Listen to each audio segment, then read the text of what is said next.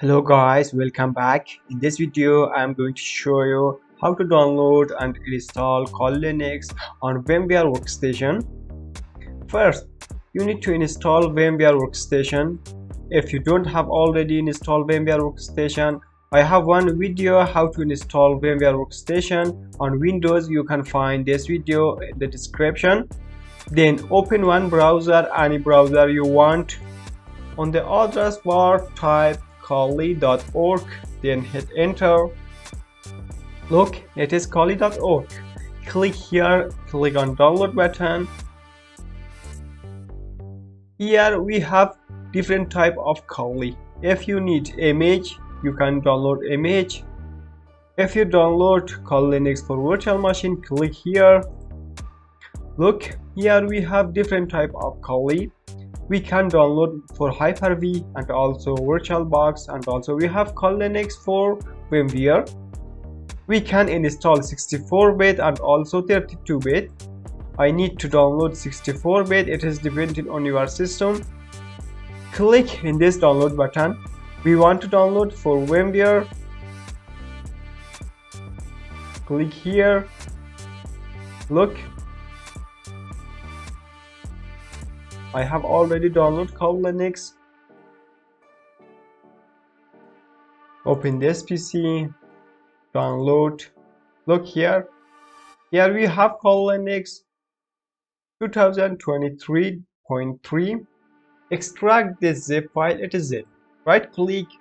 Look here we have WinRAR. If you don't have WinRAR, install WinRAR. Then click on WinRAR. Here we have extract here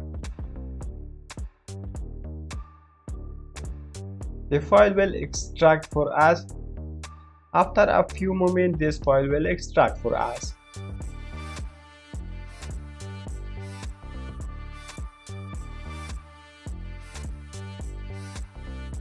Keep your mind don't remove this extract file.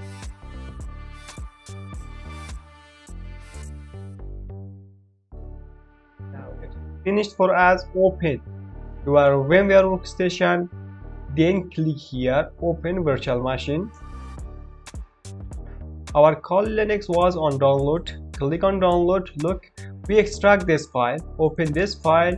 Here we have Kali Linux vmware click here then click on open. After that from edit virtual machine you can change your setting. For example i can choose 4 gig RAM and also you can change your processor then click on OK. After that click here. Play virtual machine. Look our installation is start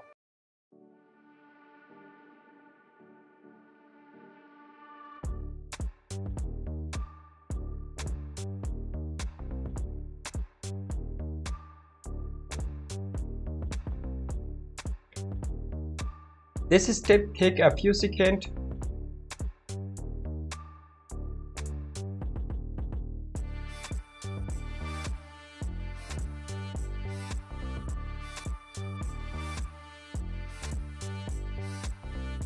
Guys, don't forget to like this video. If you are new here, subscribe the channel and hit the bell icon. When I upload the new video, you will have notification. In this step, enter Kali Linux username and also password. The username is by default Kali and also the password is also Kali. Then click on login.